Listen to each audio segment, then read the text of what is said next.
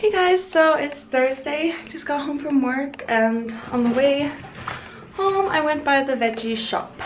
Um, got some nutritional yeast, some soybean wasabi treats or snacks, and my first ever Clif Bar. I've heard of them a lot but never had one before.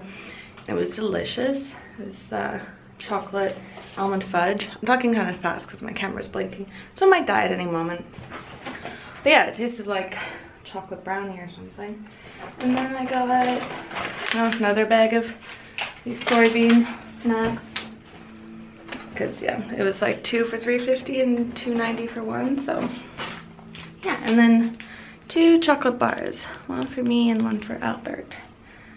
Got a crisp rice and chocolatey coating and a fluffy chocolatey nougat and chocolatey coating. Um, yeah, didn't bike to work today because it was raining and it was meant to be super windy.